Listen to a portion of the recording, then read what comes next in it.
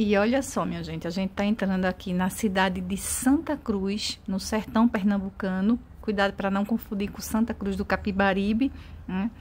Essa cidade era distrito do, da cidade de Oricuri, antigamente, né? E ela surgiu quando dois freis, né, dois frades caputino, capuchinhos, é, tiveram que interromper é, uma viagem que eles faziam porque um deles adoeceu e pararam embaixo de um juazeiro, que é uma árvore frondosa, para descansar. E ficaram por um tempo ali dando assistência espiritual às famílias, celebrando missas, é, rezando pelas pessoas.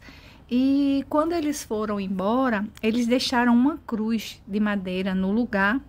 E essa cruz foi levada pelos vaqueiros de uma fazenda que tinha na região para uma capela e o pessoal passou a venerar essa cruz, pedindo proteção, cura de doenças, enfim.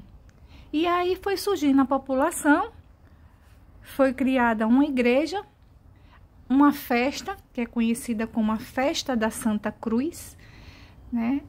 E a cidade começou a se formar. A gente está passando agora ó, aqui numa praça, que é na rua principal da entrada da cidade, e ao finalzinho da praça tem uma igreja, é, diferente de outras igrejas, na frente dela tem uma parte enorme que é quando eles fazem a celebração, porque o turismo religioso aqui é muito forte por conta da veneração a, a essa cruz.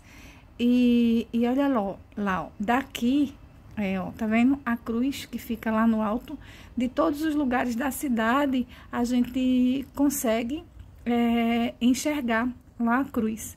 Perguntei a alguns moradores aqui da cidade qual é a história lá dessa cruz, se tem algum evento, dias de eventos, mas o pessoal infelizmente não soube falar nada.